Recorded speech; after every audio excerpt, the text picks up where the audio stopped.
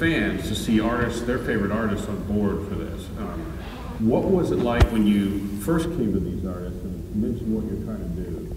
What did they say? Hallelujah. Please, anything that anybody can do, anything. We'll, we'll try anything. We'll do anything to support this. Uh, as, you know, all we have to do is hear it to realize it's real. You know, it's got to be real. People have been fooled a few times. There's no magic potion. You just have to give people what they, what the real deal is, what the artists make. Several of the artists mentioned the music made them feel differently, or that it was warm and it had more soul. That's important, right? That's all my music's about. So uh, without that, I'm up the creek.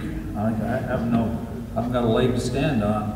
If you can't, if you can't feel that, because I'm not that cool and I don't have the beat and I don't have all those things that I, you know, some people can do great, and I, you know, I do it my own way with my own funky bands, and and and they're great, and I love playing with them. But there's just, you know, the soul of it, the feeling of the interplay of the musicians is in the air, it's in the cymbals, it's in, it's in the music itself, the interplay.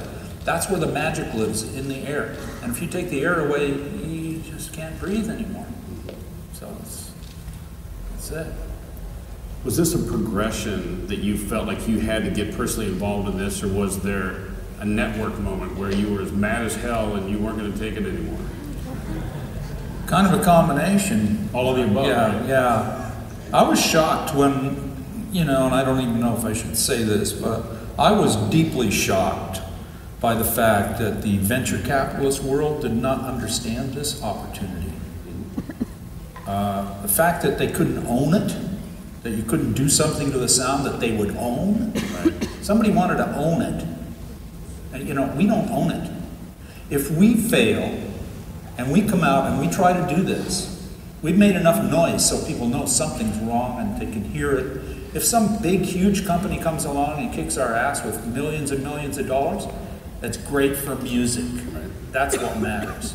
If they'll do what we do, it's a no, it's a no lose situation. We win. Everybody wins.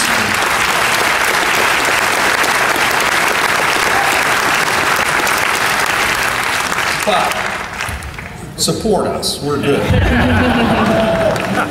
Well, the Kickstarter went live today, and I think you said you guys have got quite a bit of response already. Half a million dollars already? We're, we're already more than halfway to our goal, which is pretty cool after about four hours. Good. Hopefully, you folks listen out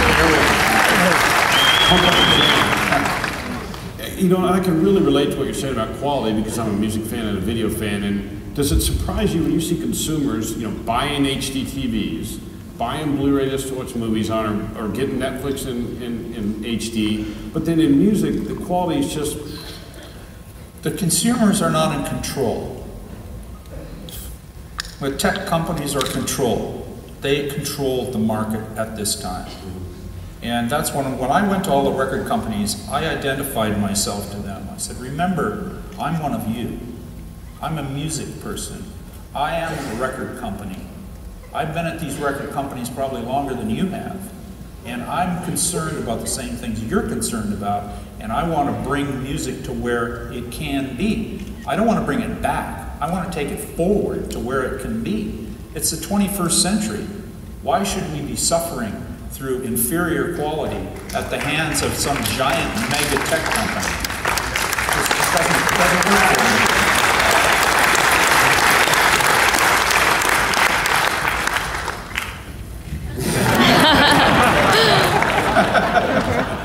We love you.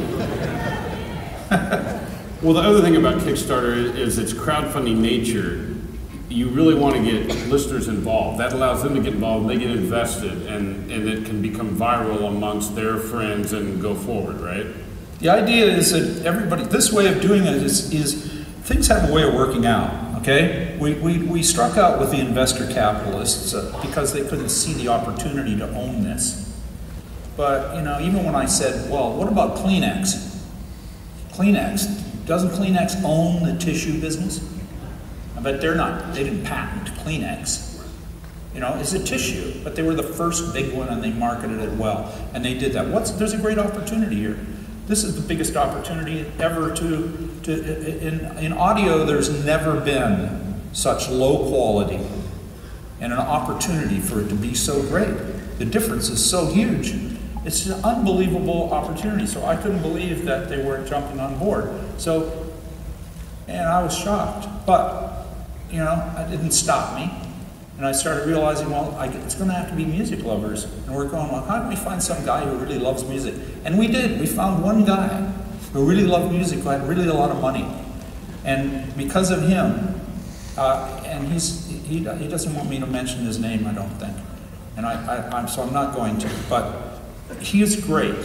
And he, he loves music. I've known him for 30, 40 years. I knew, I, I knew him back in the 70s when uh, he was hanging out with the band, and I was hanging out with Ronnie, and, uh, with uh, Robbie and Levon and all those guys. And we, we were hanging out and, and playing in his studio, and his, he was sending us chicken all the time because he has a chicken business, and and uh, and we were eating it and everything, talking about Johnny's so great. So he he uh, he helped us. So because of him, we're here today.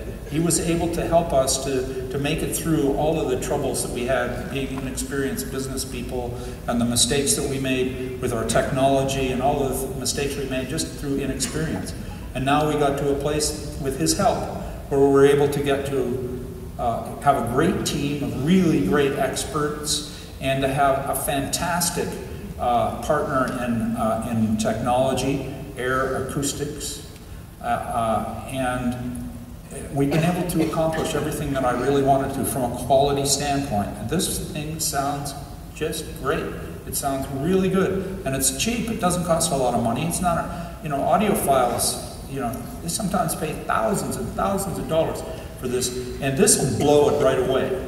Okay, this is just a little thing, and you say what you will, but you put this thing down and plug it into those big systems, it rocks. It'll pound it. I mean it, and all the air in the world, so it's got it all. So Kickstarter and music lovers enabled us to get to where we are now, where we're halfway to our goal, more than halfway to our goal after a few hours, which is so encouraging. Uh, and I'm so grateful to these people who supported us. Uh, and I really hope that they love their, their players when they get them and the music that's on them. And uh, uh I, I really hope it works.